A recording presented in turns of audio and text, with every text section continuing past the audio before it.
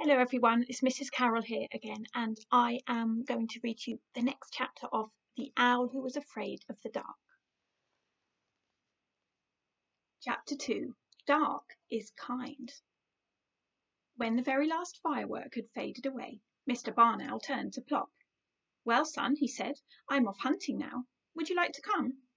Plop looked at the darkness all around them. It seemed even blacker after the bright fireworks. Uh, not this time, thank you, Daddy. I can't see. I've got stars in my eyes. I see, said his father. In that case, I shall have to go by myself. He floated off into the darkness like a great white moth. Plop turned in distress to his mother. I wanted to go with him. I want to like the dark. It's just that I don't seem to be able to. You will be able to, Plop. I'm quite sure about that. I'm not sure, said Plop. Well, I am his mother said. Now, come on, you'd better have your rest. You were awake half the day. So, Plop had his midnight rest, and when he woke up, his father was back with his dinner. Plop swallowed it in one huge gulp. That was nice, he said. What was it? A mouse, said Mr. Barn Owl. I like mouse, said Plop. What's next? I have no idea, his father said. It's Mummy's turn now. You'll have to wait till she gets back. Plop was always hungry, and his mother and father were kept very busy bringing him food all night long. When daylight came, they were very tired and just wanted to go to sleep. Bedtime, Plop, said Mrs. Barn Owl. I don't want to go to bed, said Plop. I want to be a day bird. Well, I am a night bird, said his mother, and if your father and I don't get any sleep today, you won't get anything to eat tonight. Plop did not like the sound of that at all, so he drew himself up straight and tall well, as tall as he could, and tried to go to sleep. He did sleep for half the morning, but then he woke up full of beans, or perhaps it was mouse, and he just could not go back to sleep again. He jiggled up and down on the branch where his poor parents were trying to roost. He practiced standing on one leg and taking off and landing and other important things that a, that a little owl has to learn to do. Then he thought he would try out his voice. He tried to make a real grown up barn owl noise he screeched. Eek! It sounded like the noise a cat makes if you accidentally tread upon its tail. Plop was very pleased with it. Mrs. Barn Owl was not. She half opened one bleary eye. Plop, dear, she said, wouldn't you like to go down into the world again and find out some more about the dark? Now, said Plop. Now, said his mother. Don't you want to hear my screech first? It's getting jolly good. I heard it, Mrs. Barn Owl said. Look, there's an old lady in a deck chair down there in that garden. Go and disturb, I mean, go and find out what she thinks about the dark. So Plop shut his eyes, took a deep breath, and fell off his branch. He did not get his wings working in time. He fell faster and faster, and finally plunged at the old lady's feet with an earth-shaking thump.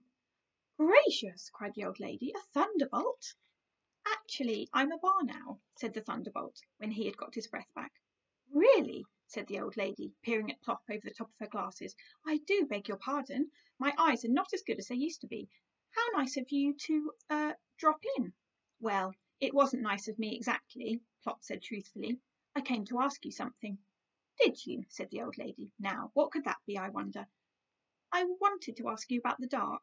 You see, I'm a bit afraid of it, and that's rather awkward for an owl. We're supposed to be night birds.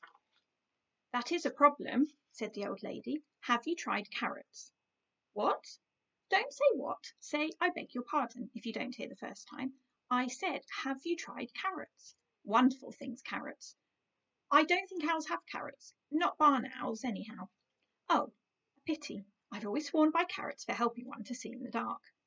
I can't see in the dark, said Plop. I can see for miles and miles. Now, don't boast. It is not nice for a little boy to boast. The old lady leaned forward and peered closely at Plop. I suppose you are a little boy. It's so difficult to tell these days. They all look the same. Yes, said Plop. I'm a boy owl, and I want to go hunting with Daddy, but he always goes hunting in the dark, and I'm afraid of it. How very odd, said the old lady. Now, I love the dark. I expect you will when you are my age. Dark is kind. Tell me, Plop said. Please, said the old lady. Such a little word, but it works wonders. Tell me, please, said Plop. Well, now, the old lady began. Dark is kind in all sorts of ways. Dark hides things, like shabby furniture and the hole in the carpet. It hides my wrinkles and my gnarled old hands. I can forget that I'm old in the dark. I don't think owls get wrinkles, said Plop. Not barn owls, anyway. They just get a bit moth-eaten looking. Don't interrupt, said the old lady. It is very rude to interrupt. Where was I? Oh, yes. Dark is kind when you are old. I can sit in the dark and remember. I remember my dear husband and my children when they were small, and all the good times we had together. I am never lonely in the dark. I haven't much to remember yet, said Plop. I'm rather new, you see. Dark is quiet too, said the old lady, looking hard at Plop. Dark is restful, unlike a little owl I know. Me, said Plop. You, said the old lady. When I was a little girl, children were seen but not heard. I'm not children, said Plop. I'm a barn owl. Same thing, said the old lady. You remind me very much of my son William when he was about four. He had the same knackety knees. Are my knees knackety? asked Plop, squinting downwards. I can't see them. My tummy gets in the way. Very, said the old lady, but I expect they'll straighten out in time. Williams did. Now, I'm going indoors to have a little rest. Plop was surprised. I thought it was only owls who slept in the daytime, he said. Are you a night bird too? The old lady smiled. No, just an old bird, a very tired old bird. Goodbye then, I'll go now, said Plop. Thank you for telling me about the dark. He fluttered up to the old lady's shoulder and nibbled her ear very gently. The old lady was enchanted. An owl kiss, she said. How very kind. Plop jumped down again and bobbed his funny little bow. Oh, such charming manners, said the old lady.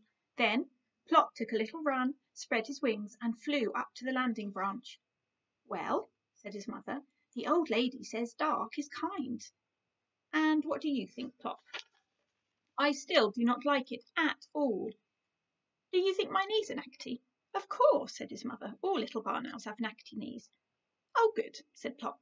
And what do you think the old lady said? She said children should be seen but not heard. Mr. Barn Owl opened one sleepy eye. Hear, hear, he said. And that's the end of the second chapter, and I will be back soon with the next one. Bye, everybody.